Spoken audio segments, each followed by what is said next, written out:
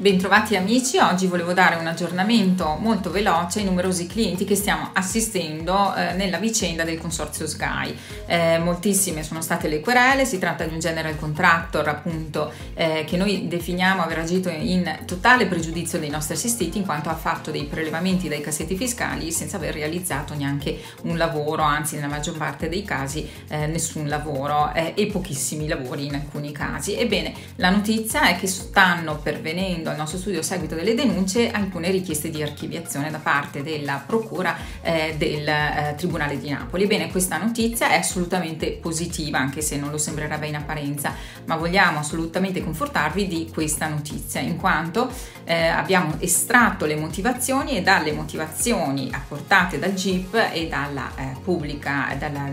PM, eh, emerge chiaramente che intanto vengono confermati i reati più gravi, quindi l'archiviazione non non è rivolta ai reati più gravi che sono associazione delinquere finalizzata alla frode fiscale, quindi reati assolutamente molto gravi, ma ehm, nelle stesse motivazioni la eh, Procura e il Tribunale confermano la correttezza delle denunce. Il fatto di aver denunciato, infatti, solo per coloro che hanno seguito la procedura correttamente attuata quindi dal nostro studio eh, sono assolutamente sgravati e questo è fondamentale. Dalle motivazioni si trae infatti eh, che c'è uno sgraviamento di responsabilità e quindi eh, il cliente che ha denunciato, il contribuente che ha denunciato ha fatto benissimo a farlo in quanto per questo motivo non risulta corresponsabile nel reato di truffa, ma non risulta allo stesso modo neppure parte offesa. Ed è questo il passaggio molto interessante, perché la Procura e eh, il Tribunale nel dire questo interpretano la circolare 33 dell'Agenzia delle Entrate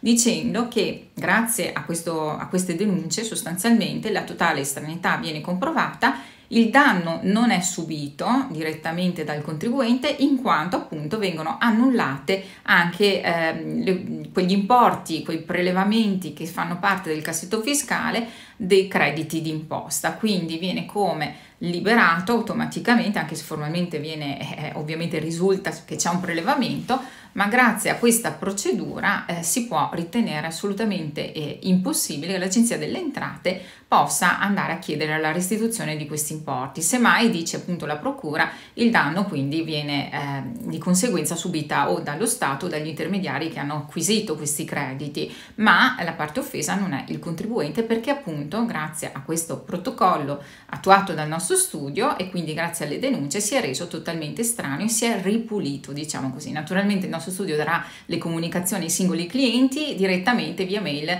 nei prossimi giorni.